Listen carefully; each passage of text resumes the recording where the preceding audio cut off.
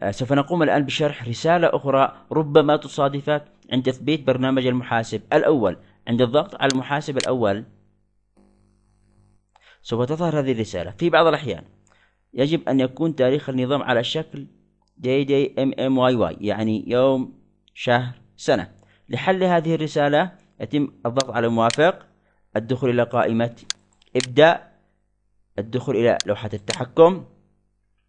في Windows XP سوف تظهر لنا الخيارات الإقليمية. أما في Windows 7 سوف تظهر المنطقة واللغة. نقوم بالدخول إليها. في Windows XP سوف تظهر لنا خانة اسمها تخصيص. أما في Windows 7 سوف تظهر لنا إعدادات إضافية. نقوم بالدخول إليها. ثم الدخول إلى قائمة التاريخ. ثم نقوم بتعديل التاريخ. دي دي إم شرطة إم إم شرطة. واي واي واي واي. ثم نقوم بالضغط على تطبيق. موافق. ثم نقوم بالضغط على موافق. ثم نقوم بالدخول مرة أخرى إلى برنامج المحاسب الأول.